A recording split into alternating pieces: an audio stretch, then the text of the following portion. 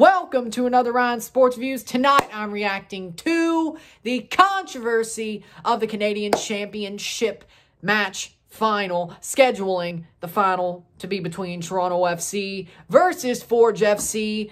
Rumor is March 20th. The consensus is March 20th, but Forge wants it later because they're complaining way too much and they're acting like Toronto is the big bad when really there's no big bad besides a microscopic particle with lots of spikes on it, and you know what I'm talking about. That's the only big bad here. Something that, well, you have to wear a mask for, like this, like that. That's the big bad. The thing that can't get through the mask, or at least, I don't know. I'm not a doctor. I'm not a doctor. But Forge FC is complaining so heavily right now, it's not even funny. It's not even funny that they're complaining because they think that the Canadian Soccer Association is out to get them. Bob Young, the owner, caretaker Bob, Forge FC owner, is wrote a letter, an open letter, posted it on his Twitter to the Canadian Soccer Association complaining about the amount of time they get to train in contrast with Toronto FC. His reasoning being only seven days, seven to 10 days before the final can put their players at risk of injury and not give them enough time against a team who's been training since February 27th, which MLS allowed them to do because one, the pro sport exemption in Canada, two, because they needed to practice for this game to try to qualify for the CONCACAF Champions League. Because just like me, as a Toronto fan first, and I know some of y'all CPL Forge stands, even though I'm a Forge fan as well, I just call it like I see it. Y'all are complaining about other people who cover TFC on Twitter saying, oh, you like TFC first. You're not a reporter. Well, you know what? I ain't no damn reporter. Now, I can't speak for Dwayne Rollins. He's a reporter. He's a podcaster. At least he says it. But damn it, I'm a talking head. I'll admit it. I'm not a reporter yet. I ain't hired by nobody. I do my own thing. So if you want to call me a talking head and a TFC fan, go right ahead, CPL stands. I'm not afraid of it. I call it like I see it. Let me explain. I'm also a Forge fan as well. Of course, I'm a Toronto fan first because they came around first. I've been here since 2007. I'm a talking head. Okay. But I like Forge as well. But I'll call it like I see it, and Bob Young's being a whiny baby. You can't do nothing against COVID. You can't do nothing to say, oh, Mr. Trudeau, Mr. Bontis, Mr. Ford, Premier Ford, Prime Minister Trudeau, President Bontis, whatever you want to call them. You can't say, hey, can we please practice on the same day Toronto's practicing? Even though we don't have the pro sport exemption because there's no, the wage in the CPL is so low that some players have to get second jobs in the off season to make more money. First off, second off, the union that you have, that you have recognized, that has been recognized by the unions, FIFPro, you haven't recognized. So this is kind of your fault by your hand, Mr. Young. This is by your hand. You have not recognized that union that would get the players more money that maybe would give you that pro sport exemption. Crazy, isn't it? It's kind of your fault that you're in this predicament. It really is. It's not Toronto's fault. It's not Nick Bontis' fault. It's not Justin Trudeau's fault. It's not Doug Ford's fault. It's not anybody else's fault, but really yours. It's not the CPL's fault. It's not David Clanachan's fault. It's not the fans' fault. It's your fault because one, you wouldn't take the match last year and play it in Hartford or wherever the hell while they were jetting around South Central America for CONCACAF League. Could have done it last year while Toronto was in the U.S., but no, the optics of that would have been horrible and the stands would have lost their minds, right? You need the final to be in Canada. Well, guess what? Look at this. Stop complaining. You're a beer league side damn near. The players don't get paid. Like, I respect Forge, and yes, they've beaten Central American sides. Yes, you have. But oh, how'd you get knocked out of the CONCACAF League? You lost to Arcahaie! Haiti! Forge should be better than that. I said it myself. So, I'm not wrong, am I? You're complaining for nothing. Nothing. I'm sorry that COVID's around. I'm sorry that the coronavirus is around and Justin Trudeau is being a very cautious person about it. Way more cautious than Donald Trump or Boris Johnson or anybody ever was besides Australia. So get mad at Justin Trudeau. Get mad at him. Don't get mad at CSA. Hell, get mad at yourself before you get mad at the CSA and Toronto FC. You want a scapegoat. You want a scapegoat. I'm serious. Now, if you're mad that this is a rant, I'm sorry, but this is what I feel. He's trying to find a scapegoat against somebody that isn't him because he knows, yeah, I probably should have recognized this union. If the players got more money, this probably wouldn't have happened. We wouldn't have been forced to be an amateur side by the own letter of the law, maybe not beer league, but by the letter of the law. And it's like, hey, if we had this union and we could play these players more money, pay these players more money, guess what? Maybe we'd be training right now. But yeah, of course, you don't want to admit it's your fault because you're a businessman. Because even if you're a businessman, you have it in you. If you're a businessman, you have it in you. You could just be like, hey, I may not show it, but I'll, I'll, when I need to, I'll, I'll show the blame to somebody else. I'll pass the buck because it isn't my fault. wow. You know it's your fault. You know it's your fault. You know if you had recognized the union, you wouldn't be in this predicament. But no, you want to blame Toronto FC. You want to blame Canada Soccer. You want to blame the federal government. You want to blame the provincial government. Okay, Go ahead. You want to blame CONCACAF. You want to blame MLS. You want to blame everybody but you. Everybody but Canadian soccer CPL owners. You. Because you're the one who didn't try to get the union faster or recognize the union faster. Now you're starting to recognize it, but too late before the laws could be changed. So the only thing you should blame is either Miss Rona, the coronavirus, or yourself. And frankly, blame yourself. Because I don't understand why you have to complain. If you want to complain so much, be like, oh, we need April 3rd. We need more time. You do know that still gives Toronto more time to train as well. You realize that, right? You know how time works, right? I'm not good at math and I'm not no businessman, but you know how time works. It adds up. You can't take none back. You can't ask for more and you can't take it back. You can't ask for five more minutes like you're Scotty McCreery. You can't.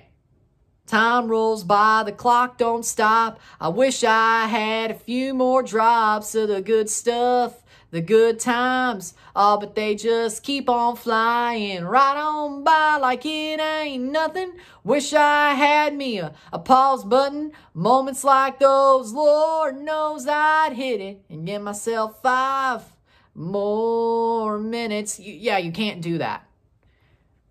You can't do that. and yeah, I had to sing. Whatever. Whatever. I can sing. Uh, but you can't do that. You can't ask for five more minutes. You can't stop the time that Toronto's already trained. Just take March 20th and run. If you lose, you lose. At least you have an excuse, which I would not be shocked for hearing you say, because of course you want to push forward to this forward thinking, moving forward organization. You don't want them to be like, yeah, we took an L. And sometimes you take L's. Now, Bobby, Coach Bobby, would probably be like, yeah, we took an L. We were supposed to. That, that's basically what happens. You, on the other hand, are, is going to just excuse out, fumigate the place with excuses, and I don't respect that. Just like you are now. You're already setting the stage for the excuses. It's so obvious, it's not even funny. You were never favored against Toronto. You think you're not favored because you're only getting seven to 10 days to practice before March 20th. You want more time, but really, doesn't matter. You're still going to get your ass kicked. And if you somehow don't, we don't deserve to be in the Champions League anyway. And we got problems. Way worse than losing to y'all. This ain't Greg Vanney's TFC anymore, and that's what scares you. If he was still here, if that fraud was still here, you'd be like, yeah, we have a chance to win. Now that Chris Armas is here, you're like, well, shit. We're done. We're done. He's actually good. He actually knows tactics. He's not a fraud. We actually have a chance. We won't win. We don't have a chance to win. We'll probably lose, especially with Toronto training more. So, of course, you're already putting out the excuses to excusify the excuses. Or maybe, I have also heard this, I wouldn't be shocked if that little speculation that Dwayne Rollins aforementioned said about, hey, guess what? I could see Ford forfeiting the CCL spot because of this situation.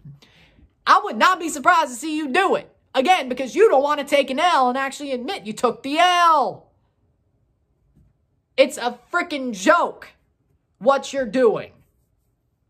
Stop complaining. Stop starting excuses. You have nobody else but yourself to blame about this situation.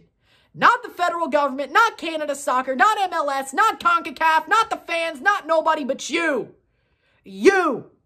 You could have played it earlier. You didn't do it because of the optics. And CPL stands are going to defend you to the day you die about this. Because, like, oh, Toronto's the big bad. See, Canada Soccer supports them the wholehearted way. Do you not realize what Canada Soccer has done to other teams in the country that aren't CPL teams? They buried Ottawa Fury to make them Atletico Ottawa, basically. Get them as a CPL city and get in Atletico Ottawa. They buried Ottawa Fury. Do you really think they care about the MLS sides? I think they care more about their pet project, the CPL. Honestly, if Forge was getting more favorability, I should complain about that. Canada Soccer doesn't give a rat's ass about a team that isn't in the CPL. Trust me, they don't. They don't. MLS let Toronto play, practice longer. The government did because they're a pro team, not Canada Soccer. Read my lips. It wasn't them. They don't care. You really want to be big brain conspiracy theorist stands? Well, let me tell you the truth. They don't care about us. They care about you, but they're not helping you. So you're mad. You think, oh, they care more about Toronto. There's nothing fair about the COVID era. Not a damn thing fair about right now. It's only convenience. Learn that. Convenience. Once you learn that, accept it. Accept it. It's, it's honest. Accept it. Learn what's coming up. Don't just be like, hey, Toronto's the favored club. No, they're not. You're honestly probably the more favored club. Not us. Which is ironic, to say the least. But still, there's nothing fair about the COVID era. It's only convenience. But you didn't want the Canadian Championship to be played in the USA during last fall or winter, so here we are. And now you have another thing to complain about because it's not going the way that the CPL stands want it to go. Oh my God, it's a joke. It's a complete and utter joke. It's what it is. Do you really think Forge could beat Toronto in their current state? Toronto isn't that bad. They were second in the league. You have a right to stand pat. Besides Bore and draft picks. They're not that bad. It's not all doom and gloom. And Armas is a better manager than Vanney. Maybe that's what you're pissed about because you know Vanney's a fraud. And honestly, he doesn't care. He never cared about the Champions League after he lost that damn final. You could see it the way they played Montreal in 2019. He gets them there, but they normally run out of gas and choke. And that's when he has amazing players.